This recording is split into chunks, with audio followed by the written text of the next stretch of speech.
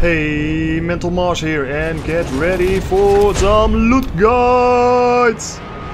We'll be starting with a loot guide for episode 1, the algorithm of the story campaign. Uh, this guide is going to be pretty straightforward as the big loot chests in this mission always spawn at fixed locations. But as I intend to create uh, guides for all the missions, I still want to cover the algorithm to go over the basics. Uh, the big loot chests contain 6 items, which one of them is always a piece of gear. This can be a common, uncommon, rare or even epic level.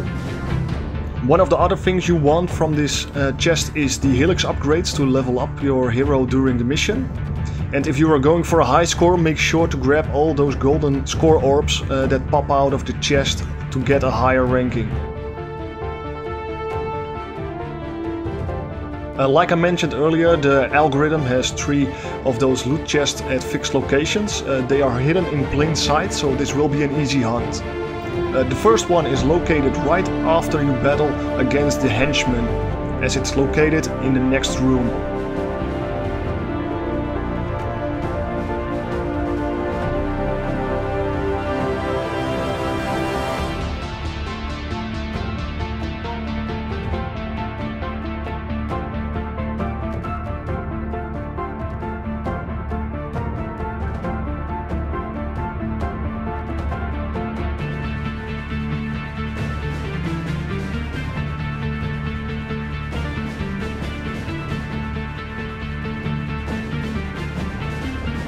The second loot chest can be found during your battle with Jeff.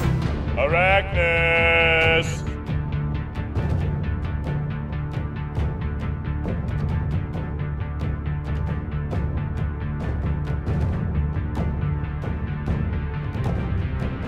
As Jeff goes for upgrades for the second time, you can find the loot chest in the far right corner.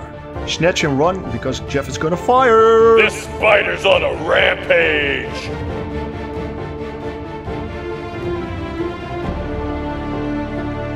The third loot chest is located just before you make the big jump towards the final battle against ISIC.